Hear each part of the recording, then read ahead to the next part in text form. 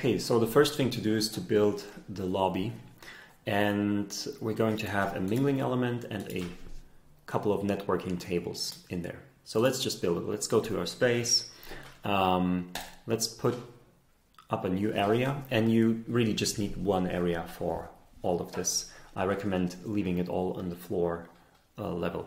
And then we will build the lobby, yeah, lobby.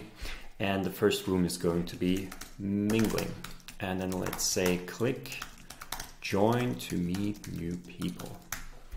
Great, don't need details or anything for that right now. And let's drag and drop the mingling element in here and choose listing large. You can choose anything that you like, it, it won't make a difference, it's only a visual thing. So let's choose listing large here, hit publish, and let's have a look at the space. By the way, if you want to access the space, you just go to dashboard and click on view space and it will open a new tab where you will see the space, which I've done. Okay, so this is the mingling element, click join to meet new people. Perfect. Um, let's make it just a little bit nicer and use an emoji. I have a shortcut for that. And there you go, perfect. So let's add another room and let's call this free networking. And um, I'm not sure if we need a description for that. Uh, click join on one of the tables to interact. Why not? I mean, you can think about different descriptions. And here, let's just have um, the quartet. This is a nice element for free networking. And let's say the max capacity, um, let's limit that. Or actually, you know what? Let's not limit it at all.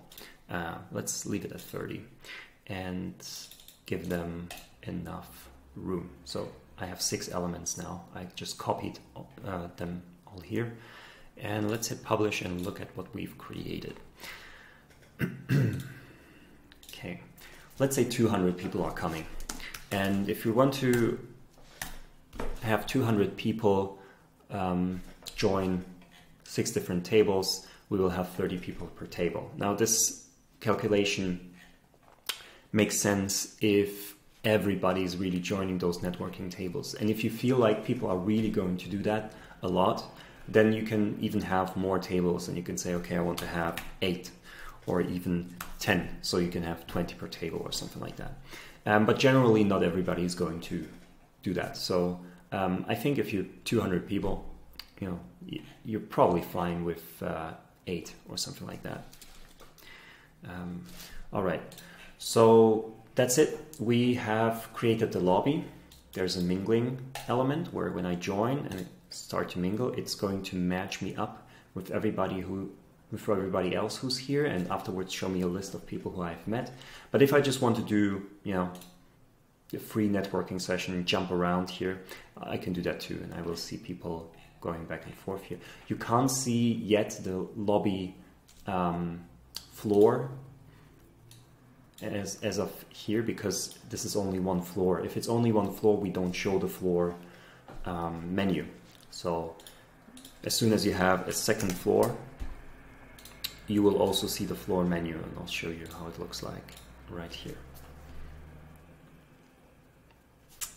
You see, lobby, second. And yeah, that's it for the lobby.